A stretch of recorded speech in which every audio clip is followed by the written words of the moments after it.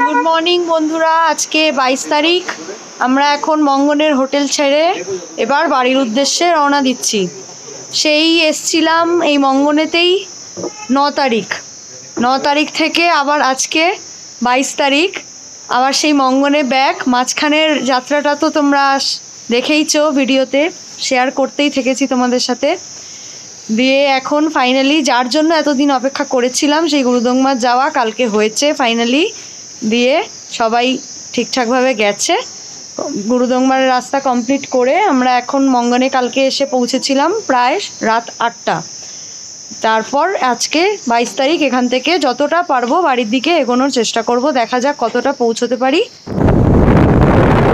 তো এবারের মতো বাই বাই সিকিম আমরা নিচে থেকে নামে নেমে চলেছি মঙ্গন ছাড়িয়ে বেরিয়ে গেছি সকাল সাড়ে এগারোটা ক্রস করবই তার নিচেও যতটা যাওয়া যায় দেখা যাক কতটা পৌঁছতে পারি আমরা বন্ধ টু হোম নাও বন্ধুরা তোমরা যারা ভালোভাবে এখন যাচ্ছ বা নেক্সট মান্থ ডিসেম্বরে প্ল্যান করছ হাইকার্সরা যারা নর্থ সিকিম প্ল্যান করছ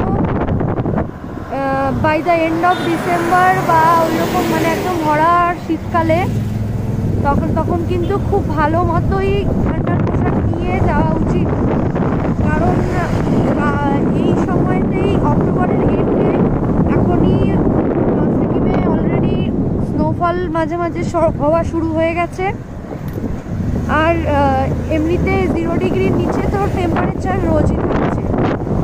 তো, নভেম্বর, ডিসেম্বরে তো আমরা বুঝতেই পারছি কীরকম হবে তো সেই মতো সবাই ঠিকঠাক আপ হয়ে যাবে। চলো, তো এবারের মতো বাই বাই সবাইকে। সবাই ভালো থেকো, আমাদের চ্যানেলের সাথে থেকো। সাবস্ক্রাইব করো সাপোর্ট করো কমেন্ট করতে থেকো। কেমন লাগছে আমাদের ব্লগিং তো বন্ধুরা, আমরা এখন এই নামতে নামতে জিরোতে এসেছিলাম। একটু রিফিলিং করব আর নিজেদেরও রিফিলিং করব করার পর। তো এখানে দেখো, আমাদের ভাইদের সঙ্গে দেখা। এই ভাইরা ভিডিও দেখে আপডেট পেয়ে চলে এসেছে।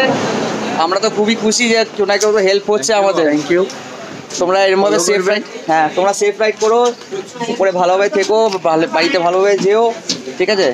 আর কি বলব আমার তো মানে কি বলব আর খুশিতে একদম সস্তা লোক দেখে বলে আপনার ভিডিও দেখেই আসছি আর কি ভিডিও হ্যাঁ এটাই এটাই আমাদের বড় পাওনা যে অনেক অনেকেই বলেছে রাস্তায় যে দেখে আমরা সেই আপডেট বুঝে বেরিয়েছি তো হেল্প হয়েছে। এটাই আমাদের পাওনা যে যাই হোক আর কিছু না হোক কিছু লোকের হেল্প করতে পেরেছি। ঠিক আছে চলো তা- অনেক হেল্প পেয়েছি আমরা। অনেক। আচ্ছা। থ্যাংক ইউ সো মাচ সবাই সাবস্ক্রাইব করবেন চ্যানেলটা হ্যাঁ। তোমরা সবাই সাবস্ক্রাইব করো এরকমভাবেই হেল্প করব লোকদের আশা করছি আবার ফিউচারে যদি দেখা হয় ও লাদাখ? দাদা সবার কি বড় সড়ো প্ল্যান এদের? নেক্সট উইক তারপরে। মানে বাইক আচ্ছা, সড়ো আচ্ছা, আচ্ছা আচ্ছা। বাইক ওখান থেকে নেবে? বাইক না না বাইক বাড়ির থেকে। বাহ খুব ভালো। দেখো লাদাখ যাচ্ছে দাদারা। হ্যাঁ? ডমিনার। দাদা ডমিনারের কেরম রিভিউ খুবই ভালো। বলো। অমিনানের রিভিউ বলতে কিছু বলার নেই। হ্যাঁ। অনবদ্য পারফরমেন্স আমার ডমিনারই Dominar আছে তোমার? না নিব নিয়ে নাও ভালো গাড়ি। ডমিনার ভালো গাড়ি। ও ডমিনার নেবে আমার এমটি আছে। কেমন? ঠিক হ্যাঁ ঠিক আছে সাবধানে যাও চলো রাখছি তাহলে। বন্ধুরা মঙ্গনের এই পেট্রোল পাম্পটাই কিন্তু last petrol pump before north Sikkim তো নর্থ সিকিমে যাওয়ার আগে পর্যাপ্ত গাড়িতে এবং বাইকে অয়েলিং করাতে হলে এইখান থেকেই কিন্তু লাস্ট অপশান আমরা এখন আছি সিংতাম বাজারে। সিংতাম রোড ধরে এসে গ্যাংটককে বাইপাস করে তোমরা চলে আসতে পারো সিংতাম যেটা কিনা মঙ্গনকে শিলিগুড়ির সাথে জুড়ছে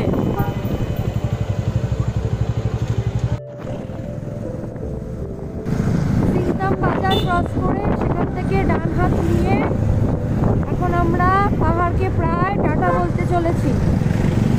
এখান থেকে শিলিগুড়ি আর এইটটি এইট কিলোমিটার। এখান থেকে রংপো দেন রংপো থেকে শিলিগুড়ি।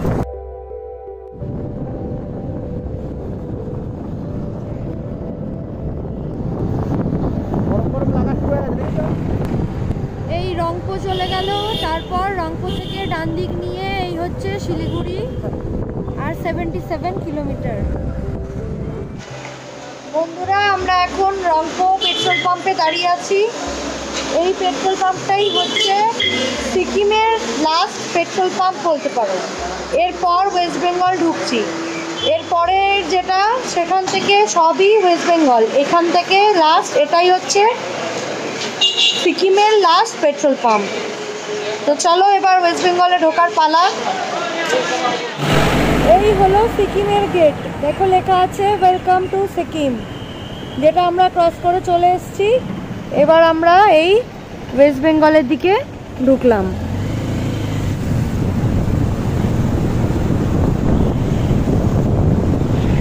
আজ দিয়ে বয়ে চলেছে তিস্তা নদী।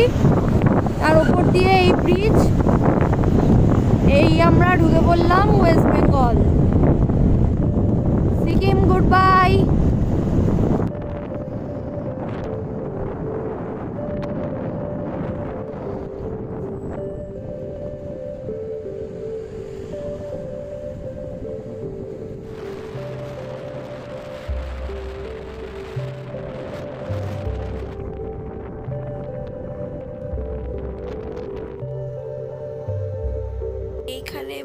রাস্তার কনস্ট্রাকশনের কাজ চলছে যার জন্য প্রচণ্ড ধুলো গোটা রাস্তা আপ টু সেবক রোড আমরা এখন করোনেশন ব্রিজ ক্রস করে তিস্তা বাজার ক্রস করে নিচের দিকে নামছি। পাশে তিস্তা নদী অবিরাম বয়ে চলেছে। কি সুন্দর তার জলের রং বন্ধুরা তোমাদের দাদা বলছে যে সামনে পাউডার ফ্রি দিচ্ছে গোটা রাস্তায় আমাদের। তোমরা কি কেউ খেতে চাও? এত ধুলো রাস্তায় যে আর কিছু বলার মতো নেই। মানে যখন থেকে সিকিম ক্রস করে ওয়েস্ট বেঙ্গলে ঢুকেছি, তখন থেকে এখনও অবধি মানে সাদা ধুলোর চাদরে ঢেকে রয়েছে বন্ধুরা আর সাঁত্রিশ কিলোমিটার বাকি শিলিগুড়ি ঢুকতে। এখন প্রায় সাড়ে পাঁচটা বাজছে সন্ধে হতে চলল দেখি আমরা ডিসাইড করেছি যে রাত নটা অবধি চলতে থাকব দেখা যাক কত দূর গিয়ে পৌঁছোই আশা করছি অনেকটা নিচে নেমে যেতে পারব পুরো বাড়ি পৌঁছতে পারব না কিন্তু অনেকটাই পৌঁছে যেতে পারব তো বন্ধুরা এখন সাড়ে চারটা বাজে। আমরা গাজল ডোবা ক্রস করে ফুলবাড়ির এই জাংশনে আছি। চা খাচ্ছি। এরপর এখান থেকে ইসলামপুর। ইসলামপুরে রেস্ট কালকে আবার সাড়ে চারশো কিলোমিটার। এখন বাজে রাত সাড়ে নটা। আমরা এসে পৌঁছলাম ইসলামপুর। এই আমাদের হোটেল অতিথি নিবাস যেটা কিষানগঞ্জের একটু আগে। এই পাশে দেখতে পাচ্ছি the Raiganj central cooperative bank ঠিক তার পাশেই অতিথি নিবাস। বেশ ভালো ব্যবস্থা। এখানে দুটো রুম দু হাজার টাকা।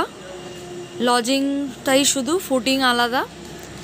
আর বাইক পার্কিংয়ের নিজস্ব জায়গা আছে। সেফটি একদম হান্ড্রেড পারসেন্ট। এখানে লাগেজ রীতিমতো রেখে তোমরা থাকতে পারবে, কোনো অসুবিধা নেই। সেই বিষয়ে কোনো চিন্তা নেই। আর এখানে খাবারের জায়গা, পুরো স্টল টাইপের রয়েছে মানে অনেক কিছু খাবার দাবারের ব্যবস্থা আছে, যা খেতে চাও সবই পাবে, এরকম ব্যাপার। বিরিয়ানি থেকে শুরু করে fried rice, Chinese item, juice, everything. তো এই হচ্ছে অতিথি নিবাস ভেতরে। আমাদের নিচে দুটো রুম দেওয়া হয়েছে। তো রুম, চলো গিয়ে দেখছি।